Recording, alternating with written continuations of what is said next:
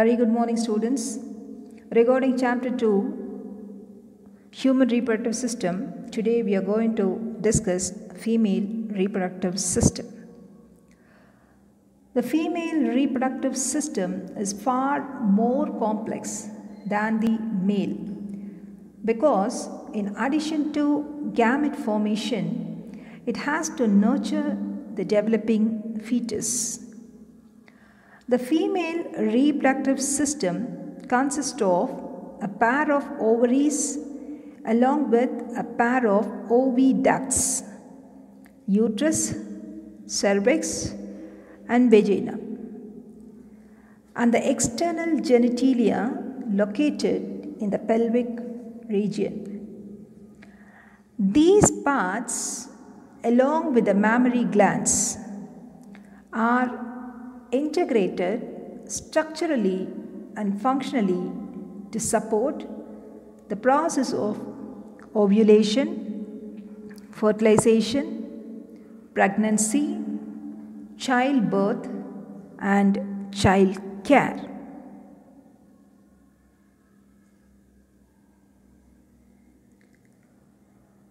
Ovaries. Ovaries are the primary female sex organs that produce the female gamete ovum.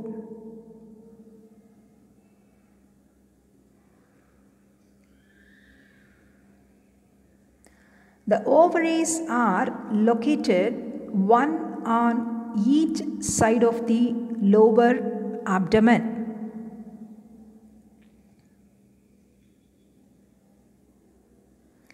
So, paired ovaries are located one on each side of the lower abdomen. The ovary is an elliptical structure about 2 to 4 centimeter long. Each ovary is covered by a thin cuboidal epithelium called the germinal epithelium, which encloses the ovarian stroma. The stroma is differentiated as the outer cortex and inner medulla. Below the germinal epithelium is a dense connective tissue, the tunica albuginea.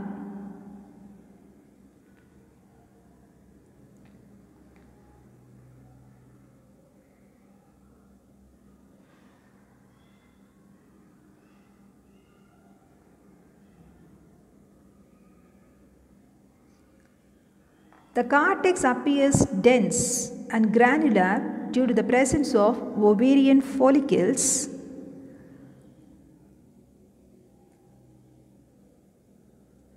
in various stages of development. The medulla is a loose connective tissue with abundant blood vessels, lymphatic vessels, and nerve fibers. The ovary remain attached to the pelvic wall and the uterus by an ovarian ligament called mesovarium. So, double layered fold of peritoneum mesovarium connects ovary with the wall of the abdominal cavity. Fallopian tube. The fallopian tubes, uterine tubes are oviducts. Uterus and vagina constitute the female accessory organs. Each fallopian tube extends from the periphery of each ovary to the uterus. The proximal part of the fallopian tube bears a funnel shaped infundibulum.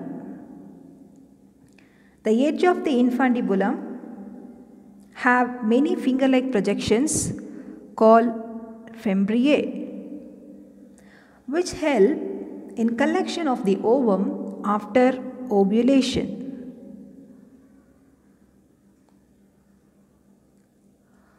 The infundibulum leads to a wider central portion called ampulla.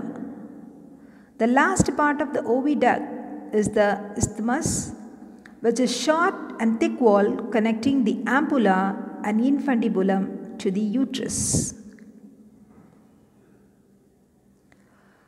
Uterus or womb is a hollow, thick wall, muscular, highly vascular and inverted pear-shaped structure lying in the pelvic cavity between the urinary bladder and rectum.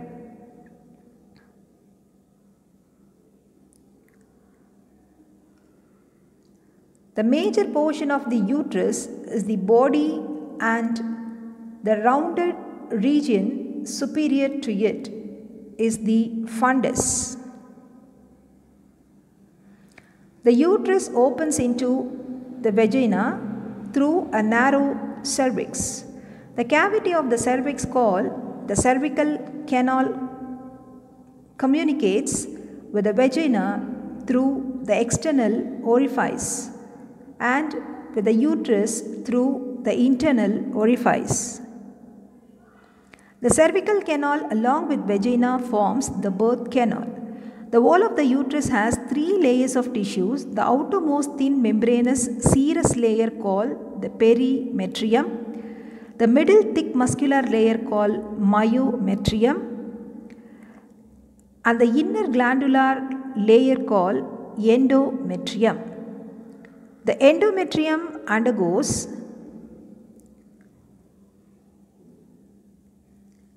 cyclic changes during the menstrual cycle while myometrium exhibits strong contraction during parturition.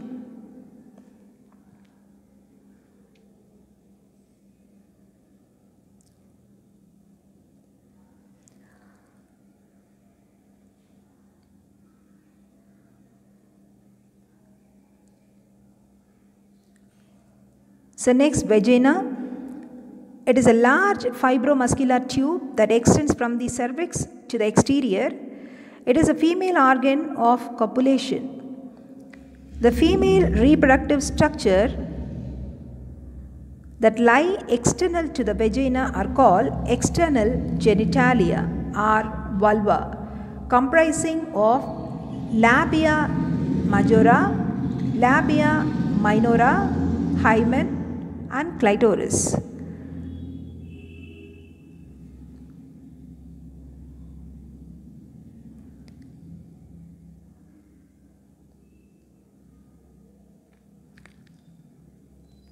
So vagina, it's a large median fibromuscular tube extended from cervix to vestibule,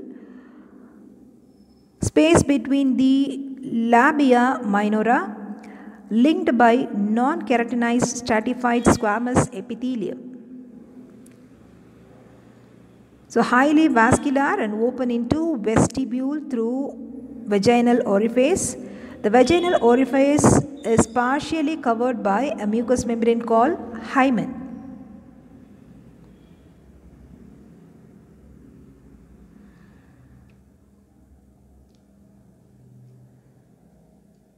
So the female reproductive structure that lie external to the vagina are called the external genitalia or vulva comprising the labia majora, labia minora, hymen and clitoris.